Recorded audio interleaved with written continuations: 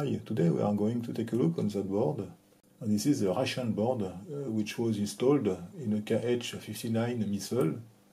As you can see, this missile has exploded. You can see some traces of soot here and on the bottom side also.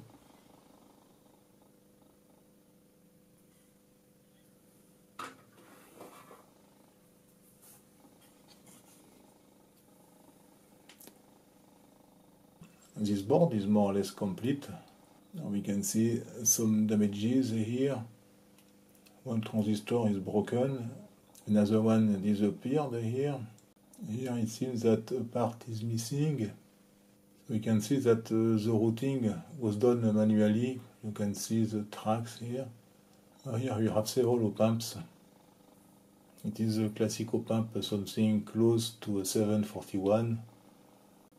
We have several SMD ICs. I don't know for the moment uh, the function of these ICs. I will try to find a Russian data book. Here, this is a transistor. Okay, so we can see also several guarding tracks. There is one here. Okay, so the nodes inside are sensitive. It is maybe the input of an op-amp. It seems that there is another one here. Another one. Here also maybe you can see the harness here. You can see that the wires are glued to the PCB. You can see here a lot of wires are connected to that board. And there is here a shield. Should have a sensitive parts inside, sensitive to noise, probably high impedance circuits inside. Okay, so let's open this box.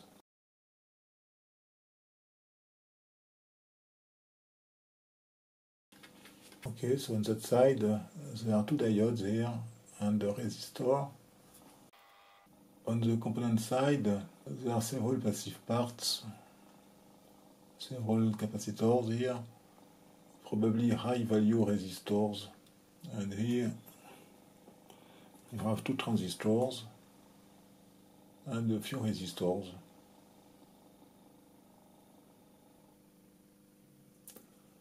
Okay, so I don't know what is the purpose of that board. The challenge will be to do the reverse engineering and I will try to figure out what is the purpose of that board.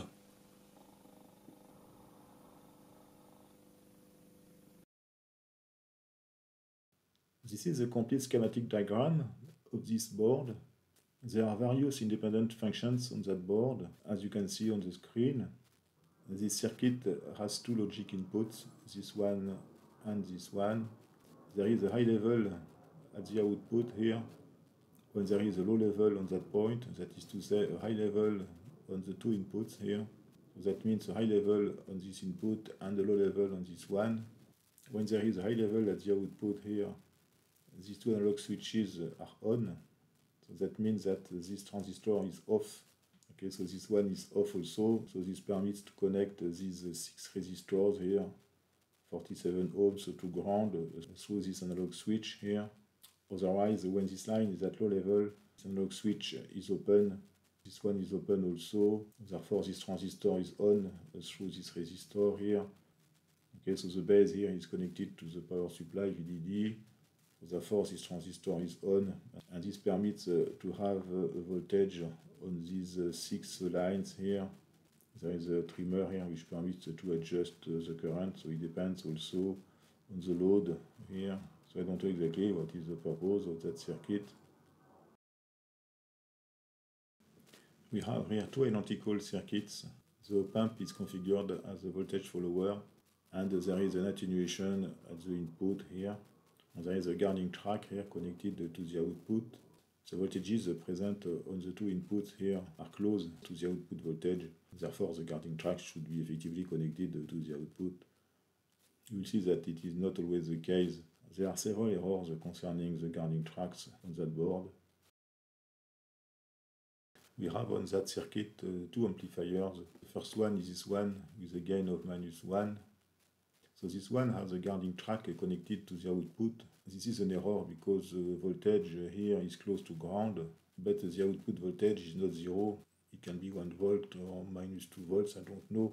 So therefore, there will be a large difference of potential between the guarding track and the input here. So this is worse than if you don't have any grounding track at all. So on that kind of inverting circuit, the grounding track here should be connected to ground and not to the output. We can see that we have a second amplifier circuit here with two stages. So this one has a grounding track connected to ground. Okay, so this is perfect. You can see this one is also an inverting amplifier, but the grounding track is connected to the output. So this is not good. The input of this amplifier can be connected to the first input here. Otherwise, it can be connected to ground. Therefore, it is possible to disable the amplifier using this digital input here. This small circuit permits to activate these two analog switches here when there is a high level on that point. That means when the input here is at low level. The last circuit is this one which is maybe the more complicated. So you can see we have uh, two transistors.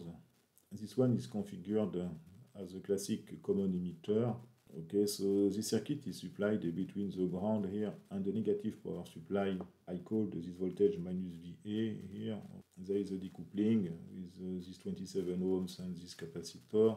So we can see a strange configuration here with these two capacitors Okay, so this capacitor is connected to the collector of this transistor, which is common base configuration. And the input uh, is on the emitter here using this coupling capacitor. You can see that a load is missing here between uh, this point and the ground or a positive power supply. You can see that if we add a coil between that point and the ground, it looks like a Colpitts oscillator.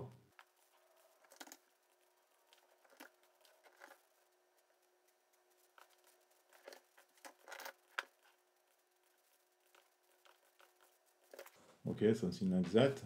So I think this is an oscillator and the output uh, is that line here. If I have time, I will try to test uh, this circuit. The last circuit is effectively an oscillator. I have connected uh, this inductor here between the output here, the collector of this transistor to ground. The inductance uh, is 500 microhenries the output frequency is 52 kHz approximately. With 100 microhenries, the frequency is 117 kHz.